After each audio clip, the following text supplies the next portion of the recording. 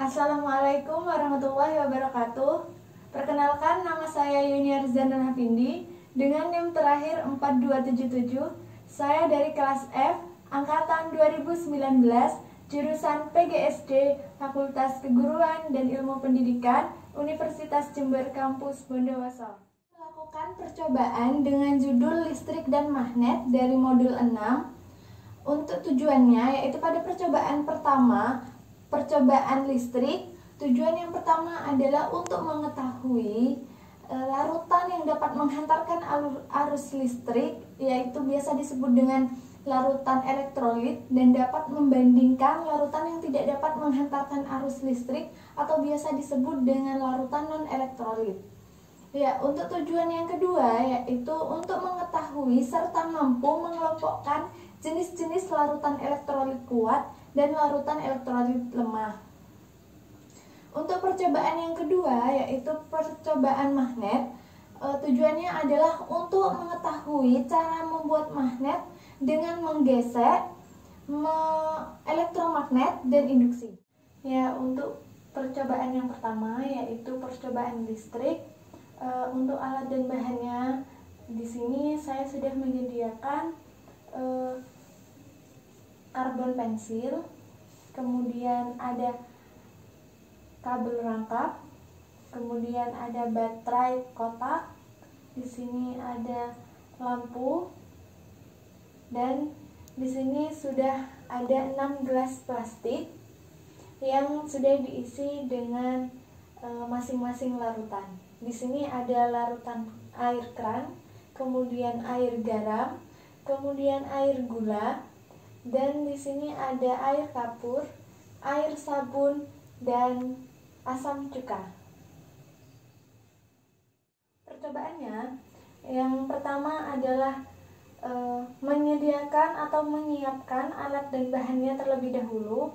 Setelah itu kita sentuhkan e, karbon pensil dengan perlahan Kemudian kita amati perubahan yang terjadi pada lampu.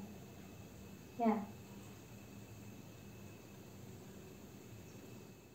Ini saya sudah menyediakan larutan-larutan yang saya masukkan ke dalam gelas plastik. Di sini ada larutan air keran, air garam, air gula, air kapur, air sabun, dan yang terakhir adalah air cuka. Langkah selanjutnya yaitu kita masukkan karbon pensil pada air keran, kemudian kita sentuhkan karbon di dalam air keran dan kita lihat perubahan yang terjadi pada lampu di sini. Ya. Untuk yang selanjutnya yaitu kita menggunakan air garam Kemudian kita masukkan karbon pensil ke dalam air garam. Kemudian kita sentuhkan. Dan kita lihat perubahan yang terjadi pada lampu di sini. Selanjutnya, yaitu kita menggunakan air gula. Kita masukkan karbon pensil ke dalam air gula kemudian kita sentuhkan. Setelah kita sentuhkan kita lihat perubahan yang terjadi pada lampu di sini. Kemudian kita menggunakan air kapur. Kita masukkan karbon pensil ke dalam air kapur. Kemudian kita lihat perubahan yang terjadi pada lampu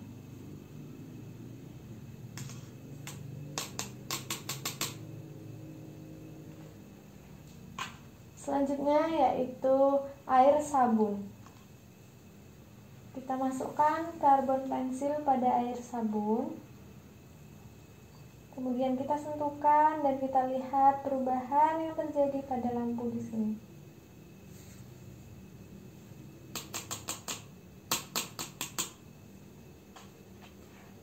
Dan yang terakhir yaitu asam cuka.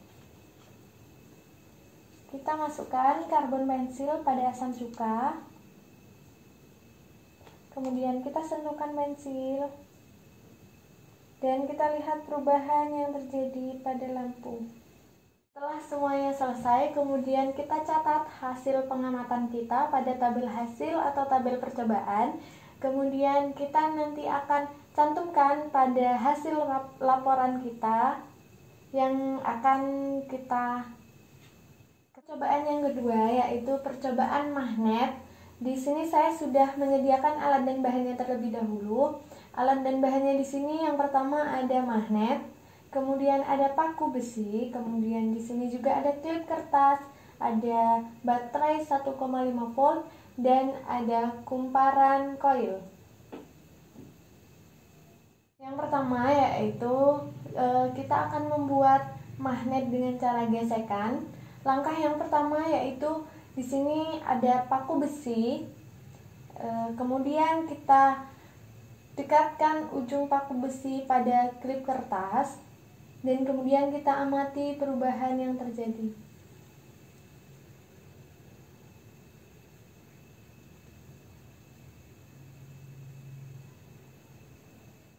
langkah yang kedua yaitu kita gesekkan paku besi pada magnet kira-kira 10 detik menggeseknya dengan satu arah.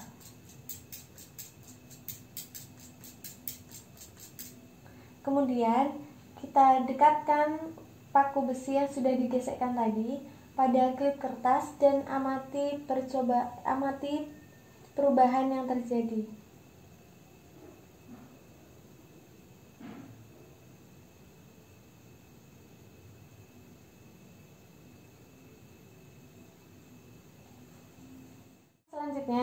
yaitu kita lakukan sama seperti percobaan yang tadi. Hanya saja waktunya lebih lama kira-kira sekitar 40 detik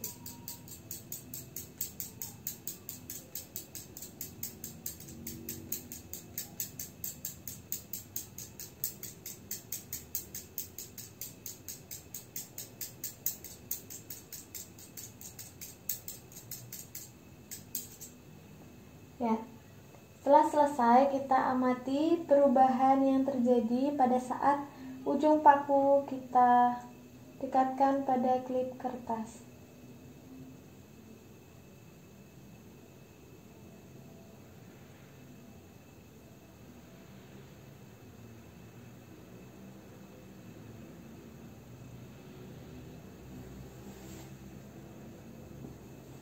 Untuk yang kedua yaitu kita membuat magnet dengan cara mengaliri arus listrik.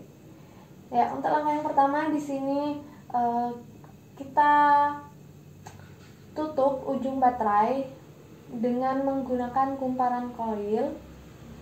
Kemudian paku di sini kita liliti dengan kumparan oil. Dan selanjutnya langkah selanjutnya yaitu kita menggunakan paku lain untuk melihat paku yang sudah kita liliti kumparan apakah e, berubah menjadi magnet atau tidak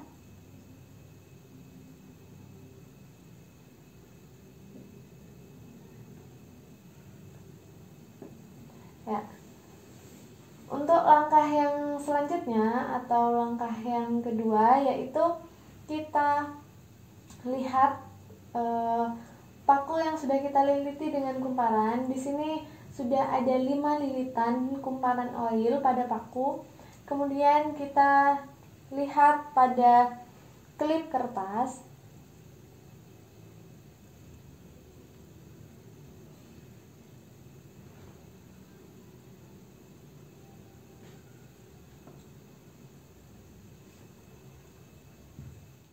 kemudian langkah selanjutnya yaitu kita tambahkan lilitan kumparan oil pada paku. Di sini e, lilitannya terdapat berjumlah 10 lilitan. Kemudian kita coba pada klip kertas di sini, kemudian kita amati perubahan yang terjadi pada klip kertas.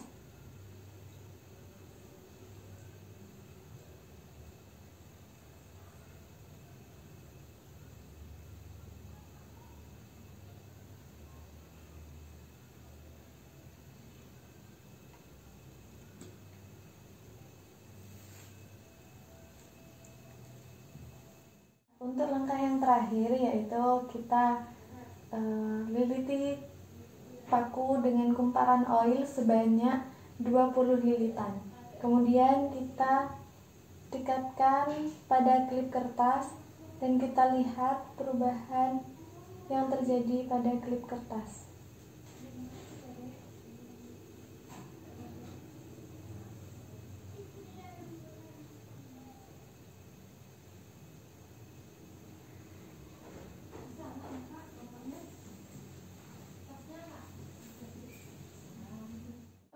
Terakhir yaitu kita liliti paku dengan jumlah lilitan 20 kemudian kita dekatkan pada klip kertas dan kita lihat perubahan yang terjadi pada klip kertas di sini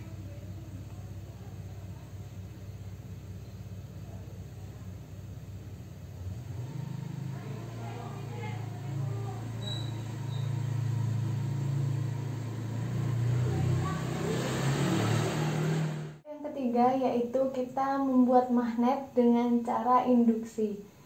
Untuk langkah yang pertama yaitu kita ambil magnet dan kita pegang di salah satu ujung kutubnya dan kutub yang lainnya menghadap ke permukaan bumi.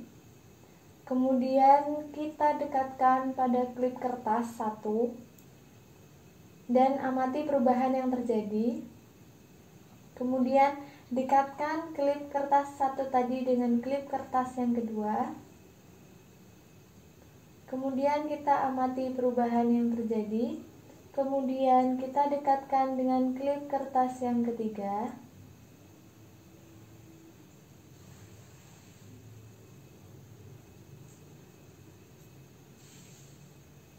Kemudian kita dekatkan dengan klip kertas yang keempat atau yang terakhir.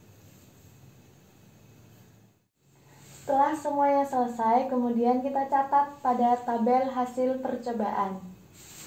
Tadi percobaan dari saya, apabila ada kesalahan pada saat percobaan dan tutur kata yang saya ucapkan, mohon maaf sebesar-besarnya. Wassalamualaikum warahmatullahi wabarakatuh.